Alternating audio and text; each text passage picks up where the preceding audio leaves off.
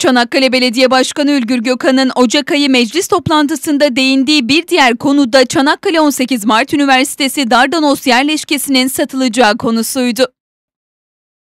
Gökhan Çanakkale 18 Mart Üniversitesi Dardanos kampüsü satılıyormuş. İsteyen Sekolin grubuymuş. Ben daha yeni duydum. Bu konular Çanakkale'de konuşuluyor, iddia ediliyor. Bir tarafta hastane bayırı, diğer tarafta üniversite. Burası başıboşlar kenti mi? Niye satılıyor? Bu konuda dikkatli olmalıyız açıklamasında bulundu.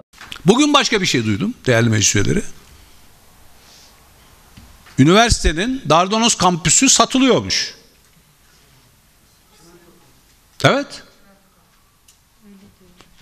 Öyle diyorlar bak kulağımın solunda öyle diyorlar. Bak benden önce duyan var. Ben daha bir saat önce duydum. Özdeyiş anladım.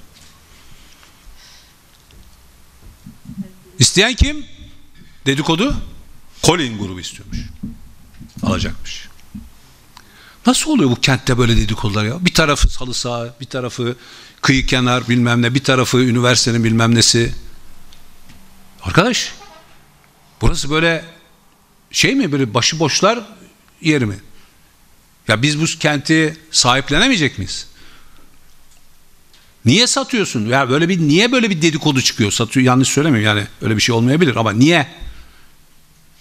Onun için bu konuda dikkatli olmamızda yarar var diye düşünüyorum.